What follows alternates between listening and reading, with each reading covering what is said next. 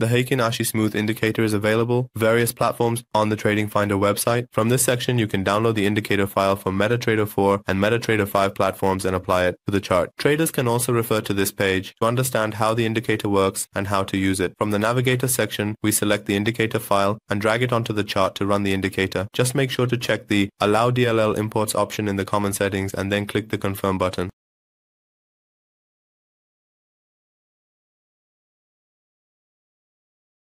We select the indicator file from the Navigator section and execute the indicator, dragging the file onto the chart. Just make sure to check the Allow DLL Imports option in the common settings, and then click the Confirm button. Once the indicator is applied to the chart, the Heikin Ashi candles will be displayed on it. This indicator is an advanced and refined version of the classic Heikin Ashi indicator, which provides traders with greater accuracy in identifying trends using the smooth mode. Here it clearly shows us the bearish and bullish trends which we can use as support and resistance levels. This indicator is an advanced and refined version of the classic Heikin Ashi indicator, which provides traders with greater accuracy in identifying trends. Using the smooth mode, here, the bearish and bullish trends are clearly shown to us, and we can use them as support and resistance levels.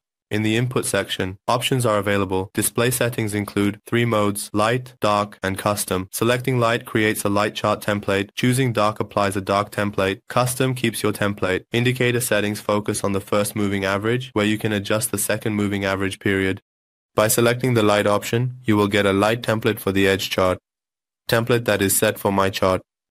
By selecting the dark option, a dark template is applied to the chart, and by choosing the custom option, it keeps your custom template and only runs the indicator. The next section is about the indicator settings. You can adjust the settings for the first moving average here, and from this part, you can set the period for the second moving average, which is set to 6 and 2 by default. You can also change the type of method for the second moving average, which shows as a number. The first option is set to smooth, and the second is linear weighted, and you can change these by adjusting the numbers. To understand the number settings, I'll switch to MetaTrader 5 and continue explaining this section. The first moving average is set based on this section, where the first option is simple, the second is exponential, the third is smoothed, and the fourth is linear weighted. In MetaTrader 4, this is set to the second option. The settings are set to 6 and 2. You can change the type of method for the second moving average, which shows as a number. The first option is set to smooth, and the second is linear weighted, and you can switch them by changing the numbers.